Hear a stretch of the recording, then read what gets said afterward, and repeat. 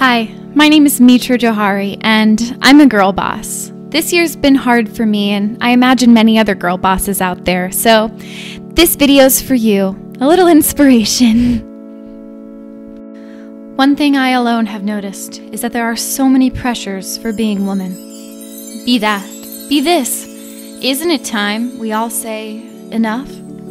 Starting now, I want ladies to make a noise. Which noise exactly?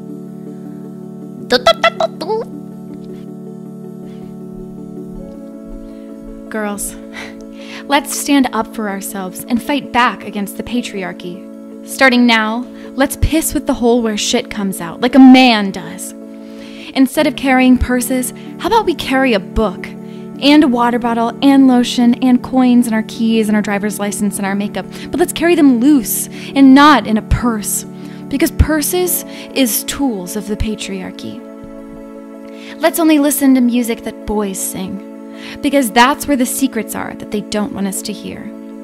Let's lift up other women. Let's lift them high and then abruptly let go so that when they fall, they break their neck. Then they'll be able to turn their heads around in a circle like an owl. Boys cannot do that. Just girl.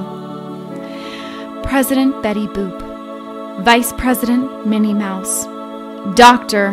Barbie. That all has a pretty nice ring to it, huh? I'm buying a sword. Starting now, I'm not wearing makeup unless I will be seen by anyone else. I will support women in STEM by having an iPhone. And I will dance like nobody's watching.